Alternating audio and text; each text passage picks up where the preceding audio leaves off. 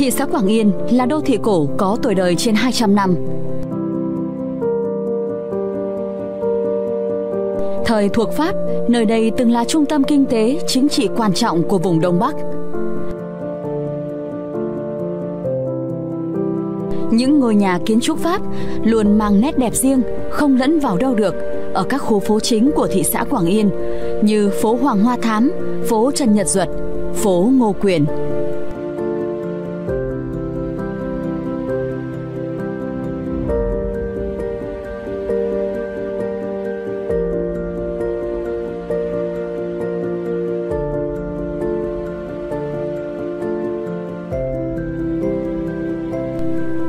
Ngược dòng thời gian vào những năm cuối của thế kỷ 19 khi thực dân Pháp xâm lược nước ta. Chúng đã thiết lập bộ máy cai trị, đồng thời xây dựng các công trình quân sự, nhà ở cho quan chức và binh lính Pháp. Dòng này nó gọi là dòng kiến trúc theo phong cách, nó gọi phong cách thôi, là tân cổ điển.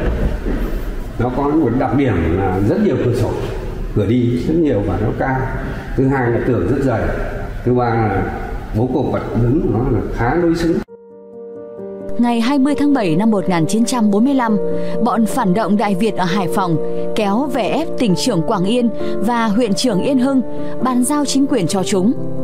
Trước tình hình đó, quân cách mạng ở trên khu Đại thứ Đông Triều do đồng chí Nguyễn Bình chỉ huy và quân cách mạng Yên Hưng đã đánh thẳng vào nhà công sứ, bắt giữ bọn Đại Việt, quản chế tại chỗ tỉnh trưởng tỉnh Quảng Yên.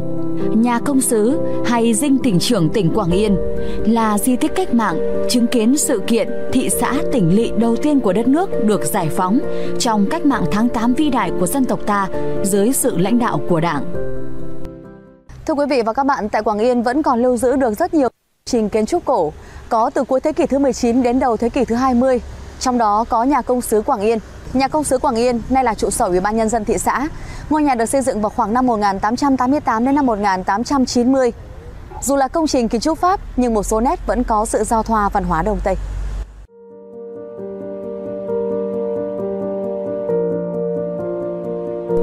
Về kiến trúc, đây là một công trình đẹp Tòa nhà mang phong cách kiến trúc Pháp phương Tây nhưng vẫn có hồn vía Việt qua các ô cửa sổ, sân vườn và vị trí phong thủy phương Đông. Đó là những lỗ hoa văn trang trí ở trên các cuốn ở mặt đứng có gạch gốm hoa chanh. Gạch gốm hoa chanh là đồ dùng trang trí đặc sắc cổ điển Việt Nam.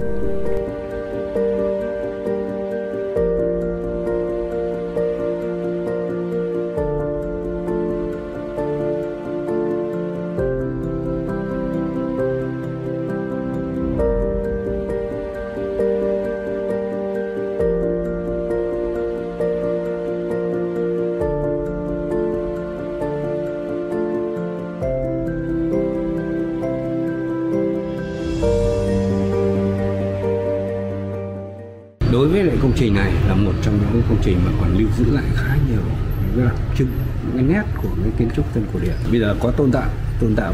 Nhưng dù sao chăng nữa, đối với công trình như thế này thì những cái đặc trưng về kiến trúc pháp nó cũng tương đối là còn nguyên vẹn. Tường này xong mới đến cái tường trong. Xong rồi cửa thì lại cửa này xong rồi cửa kính nữa. Thì nó rõ ràng nó có hai lớp. Cái mùa đông thì nó ấm, mùa hè thì nó mát cái này nó, nó, nó người pháp họ muốn giao thoa cái kiến trúc cái văn hóa của họ với lại cái kiến trúc bản địa Ngoài không gian sân vườn, bên cạnh công trình này còn có hai cây liêm giếng rừng, được xếp hạng di tích lịch sử cấp quốc gia.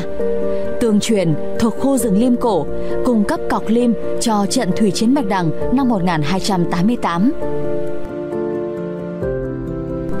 nhà công sứ Quảng Yên cùng các công trình kiến trúc cổ khác đã tái hiện một cách sinh động về một đô thị cổ xưa, đồng thời tạo thêm điểm nhấn để mỗi du khách dừng chân khi về với mảnh đất này.